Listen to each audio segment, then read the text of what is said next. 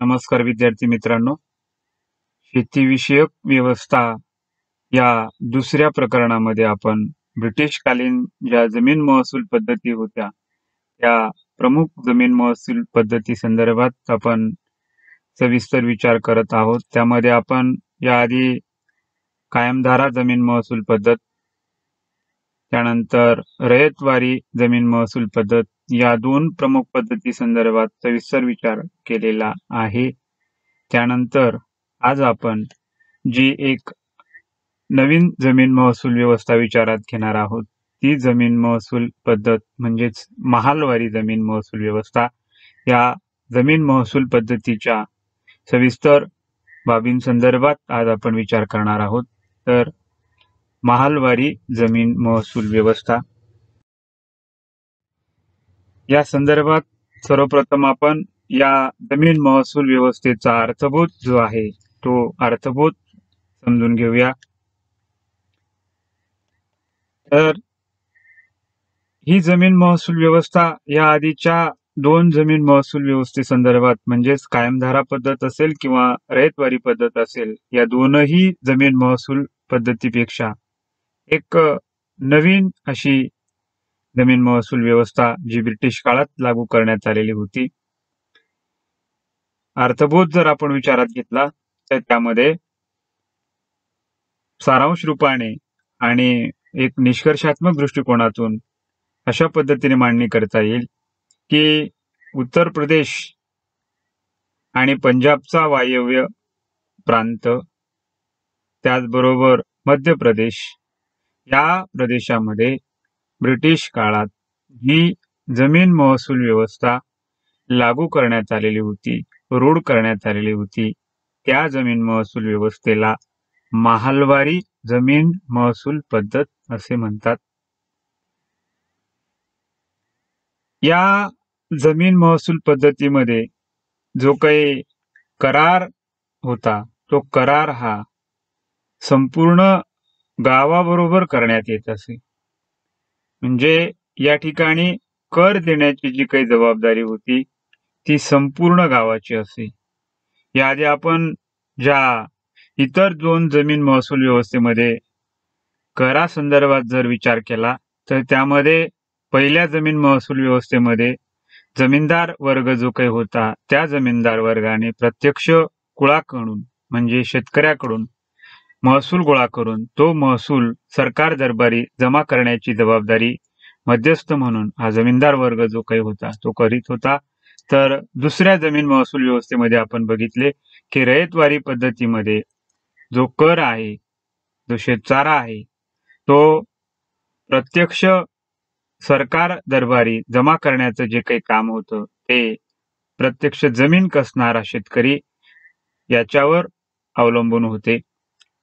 परंतु या ठिकाणी मात्र करा संदर्भातली जी काही जबाबदारी होती ती जबाबदारी मात्र संपूर्ण गावाची होती. म्हणजेच संपूर्ण महलाची होती.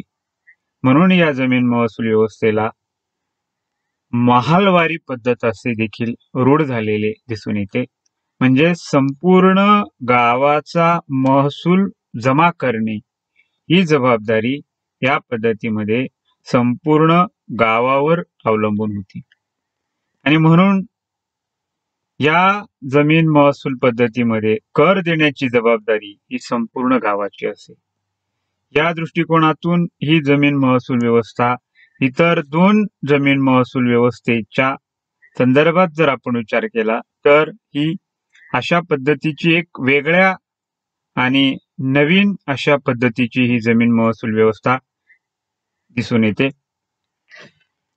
दुसऱ्या या जमीन महसूल व्यवस्थेचा जर आपण स्वरूपात्मक विचार केला तर अशा पद्धतीने या जमीन महसूल व्यवस्थेसंदर्भातला हा सविस्तर जो काही मर्मदृष्टिकोन आहे तो जर विचारात घेतला तर त्यामध्ये सर्वप्रथम ही जमीन महसूल व्यवस्था ही उत्तर प्रदेशचा जो काही भाग होता त्याचबरोबर पंजाबचा वायव्य सरहद्द प्रांत होता आणि मध्य प्रदेश मध्य प्रदेशाचा भाग. या प्रमुख प्रदेशांमध्ये ही जमीन व्यवस्था लागू करण्यात आलेली दिसून येते.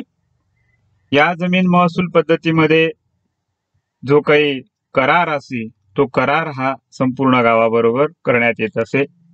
दुसऱ्या बाजूला कर देण्याची जी काही जबाबदारी होती ती जबाबदारी ही संपूर्ण गावाची असे. गावातील प्रत्येक व्यक्ती हा कर देण्यासाठी मात्र बांधील असे. म्हणजे आपापल्या पात्रतेनुसार गावातील व्यक्ती हा कर देत असे. म्हणून महालवारी पद्धतीत त्या गावाने किती महसूल द्यावा याबाबत सरकारशी चर्चा होऊन शेवटी गावातील एक प्रमुख व्यक्ती त्या करारावर सही करत असे.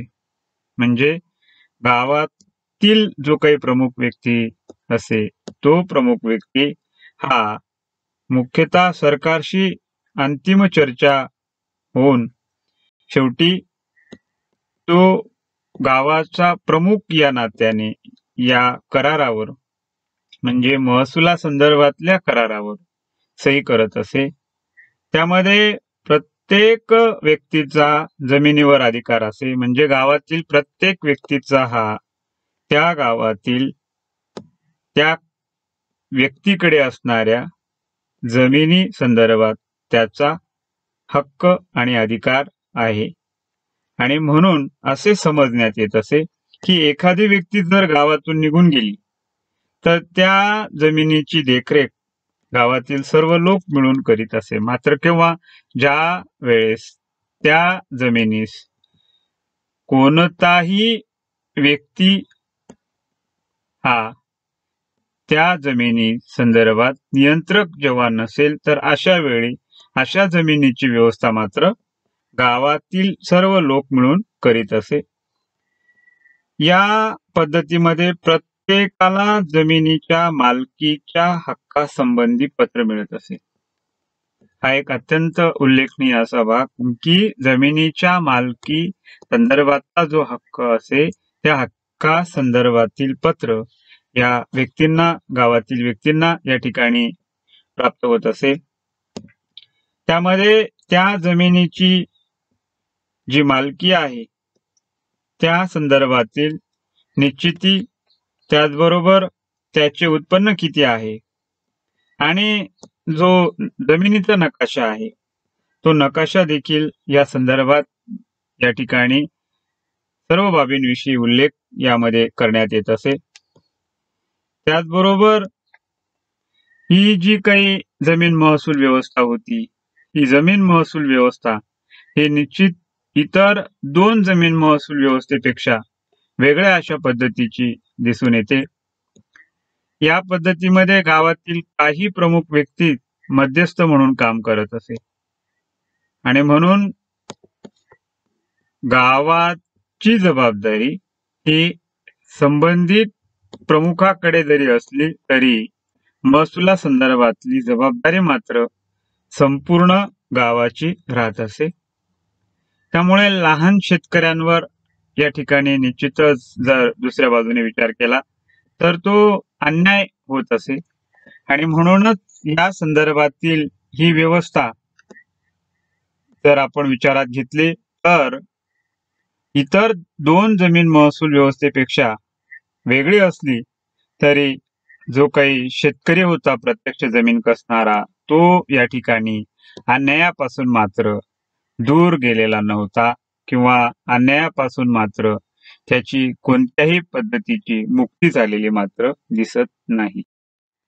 दुसऱ्या बाजूला या जमीन महसूल व्यवस्थेच्या अंमलबजावणी संदर्भात जर आपण विचार केला तर या ठिकाणी कायमधारा पद्धत आणि रयतवारी पद्धतीपेक्षा ही एक नवीन अशी जमीन महसूल पद्धत जी काही ब्रिटिश काळात लागू करण्यात आलेली होती त्यामध्ये मुख्यतः उत्तर प्रदेश असेल पंजाबचा वायव्य सरहद्द प्रांत असेल आणि मध्य प्रदेशाचा भाग असेल. या ठिकाणी या प्रमुख अशा प्रदेशाच्या ठिकाणी ही जमीन महसूल व्यवस्था जी काही रूढ करण्यात आलेली होती लागू करण्यात आलेली होती आणि या प्रदेशांमध्ये या जमीन महसूल व्यवस्थेची अंमलबजावणी करण्यात आलेली दिसून येते.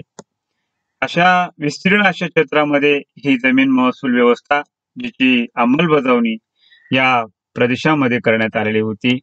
म्हणून कायमधारा पद्धत आणि रयतवारी पद्धतीपेक्षा एक नवीन भिन्न अशी जमीन महसूल पद्धत जी ब्रिटिश काळात लागू करण्यात आलेली होती तिला महालवारी पद्धत असे संबोधन निश्चितच या ठिकाणी देण्यात आलेले दिसून येते. आणि या पद्धतीमध्ये महसूल देण्याचा जो काही करार होता तो संपूर्ण गावाबरोबर करण्यात येत असे.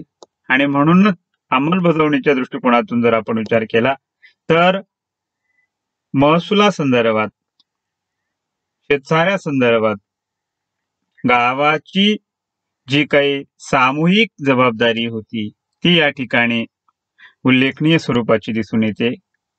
कारण महसुला संदर्भातील करार हा संपूर्ण गावाबरोबर करण्यात येत असे. आणि म्हणून महसुला संदर्भात शेतचारा संदर्भात संपूर्ण गावाची जबाबदारी ही सामूहिक स्वरूपाची दिसून येते. आणि यामध्ये मात्र गावातील व्यक्ती हा व्यक्तिगत रित्या या संदर्भात म्हणजे महसुला संदर्भात तो बांधील राहत असेल आणि या महसुलाच्या संदर्भातली पूर्तता करणे ही त्याची जबाबदारी मात्र या ठिकाणी दिसून येते. म्हणून ही जमीन महसूल व्यवस्था ज्या अंमलबजावणी संदर्भात जर आपण विचार केला तर अशा विस्तीर्ण प्रदेशामध्ये या जमीन महसूल व्यवस्थेची म्हणजे मध्य प्रदेश असेल उत्तर प्रदेश असेल किंवा पंजाबचा वायव्य सरहद प्रांत असेल यामध्ये ही जमीन महसूल व्यवस्था लागू करण्यात आलेली होती रूढ करण्यात आलेली होती आणि तिची अंमलबजावणी या ठिकाणी करण्यात आलेली दिसून येते.